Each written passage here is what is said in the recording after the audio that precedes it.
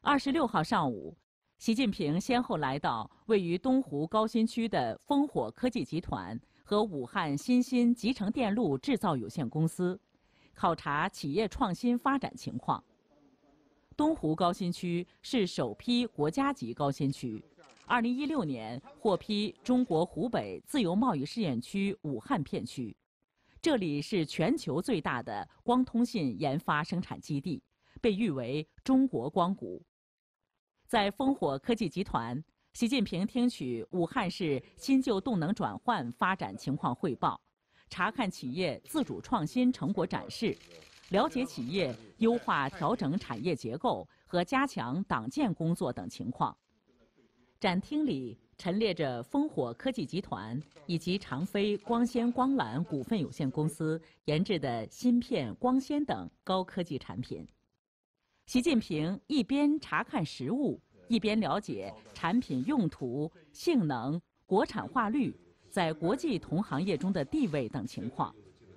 听到介绍烽火科技在超大容量、超长距离。超高速率光通信领域的研发和生产处于世界领先地位，一根光纤上可实现六十七点五亿对人同时通话。总书记点头表示赞许。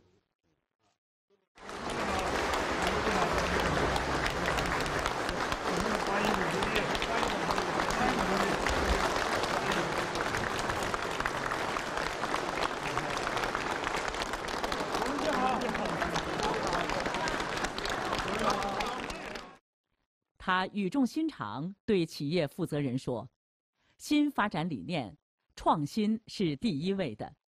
我国已经成为世界第二大经济体，过去那种主要依靠资源要素投入推动经济增长的方式行不通了，必须依靠创新。具有自主知识产权的核心技术是企业的命门所在，企业必须在核心技术上不断实现突破。”掌握更多具有自主知识产权的关键技术，掌控产业发展主导权。国家需要你们在这方面加快步伐。啊，因为我希望看到我们的这些啊民族企业啊国家的企业能够健康的成长啊，所以现在在这些核心技术、关键技术、国之重器。必须立足于自己。过去呢，我们不得不自力更生，但是那个时候我们勒紧裤腰带，啊，咬紧牙关，我们还创造了两弹一星啊！因为我们发挥了我们另一个优势——制度优势，啊，集中力量办大事，啊，社会主义啊，一方有难，八方支援。下一步啊。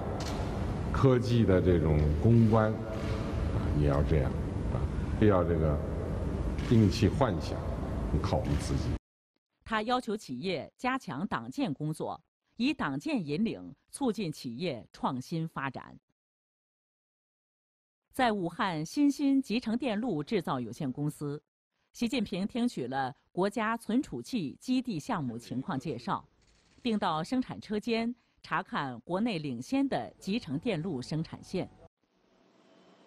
以该公司为平台组建的长江存储科技有限责任公司，是国家存储器基地项目的实施主体，承担着我国存储器跨越式发展、赶超世界一流的重要使命。在生产车间，总书记仔细查看集成电路生产线。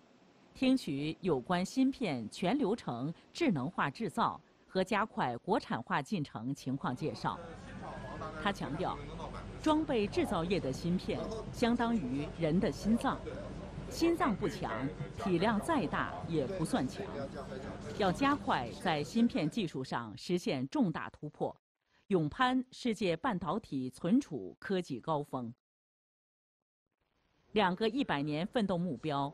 不是敲锣打鼓、轻轻松松就能实现的，机遇前所未有，挑战前所未有，每个人都要增强责任感、使命感，在各自岗位上为中华民族伟大复兴做出更大贡献。